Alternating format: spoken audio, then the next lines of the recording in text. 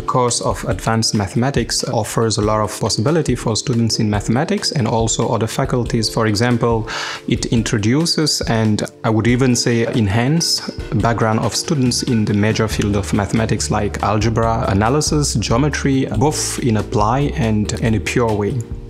The degree is designed for students that have already completed a bachelor program in mathematics, any university in the world.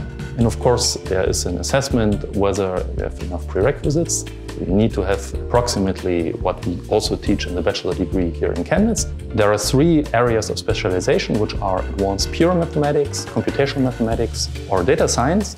And basically, you will learn in all of these areas fundamental theories and how to apply them.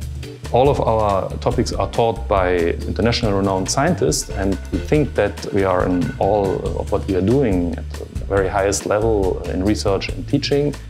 I read a lot about TU Chemnitz and how great this university is. Also that the program sounded very innovative, so you get a chance to attend a lot of different subjects within the area of mathematics and data science. We have a very friendly atmosphere. Since we have comparatively few students per professor, everybody knows everybody and you can from the first day go to your teacher, to your professor with any questions you may have and they will be happy to answer you. There are different possibilities what you can do with this degree.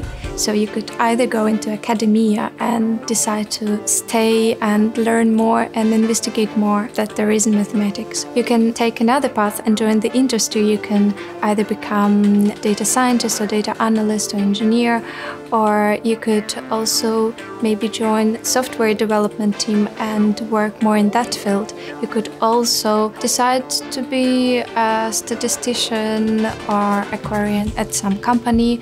So there are possibilities are endless. Yes, Chemnitz is definitely a nice place to study. There are a lot of interactions with uh, some of my colleagues. Sometimes we meet for watching movies, sometimes for some restaurants in the weekends, which is very nice. We also have some other students with whom we used to play table tennis, usually like uh, once every two weeks, which is, yeah, I think interesting.